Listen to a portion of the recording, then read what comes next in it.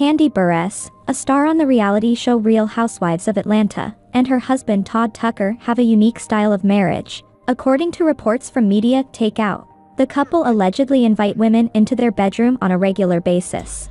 There have been long-standing rumors about Kandi and Todd engaging in swinging, but recently Kandi has confirmed these rumors herself.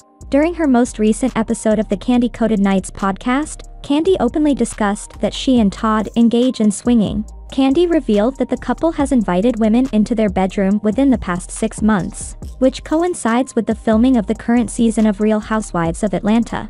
During the podcast, Kandi addressed a fan's question about their concern regarding her open relationship with Todd. Following this, DJ asked Kandi directly, Do you and Todd currently engage in threesomes, or is that something that you did earlier in your relationship and marriage? Kandi replied to the question, stating that it doesn't happen frequently. However, she did confirm that they have engaged in threesomes within the past six months. Kandi concluded the conversation by saying, I will just leave it at that. I am done. In 2017 Kandi's fellow RHOA cast members, Porsha Williams and Phaedra Parks made accusations that Kandi and Todd had a threesome with another woman. During a conversation with Shereé Whitfield, the two alleged that their mutual friend Shamea Morton was sexually involved with the married couple. Porsha stated that Shamea was really close to both Kandi and Todd, with Phaedra adding that Shamea was doing both of them. These allegations caused a significant amount of drama among the cast and became a major storyline in the show's ninth season.